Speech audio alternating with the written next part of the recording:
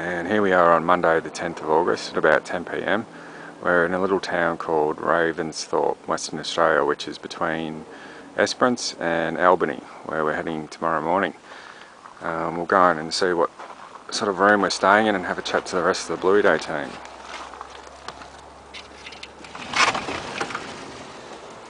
So here's our little accommodation where we're going to bunker down for the night. And the rest of the Bluey Day team who are here testing pens so that we can sell some more tomorrow. Hello. And Tegan, how are you feeling with your newly shaved head? Slightly cold this evening. I might have to go to bed with a beanie on.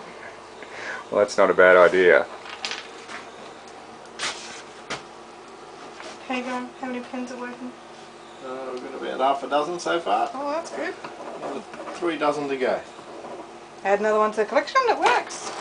Lovely job.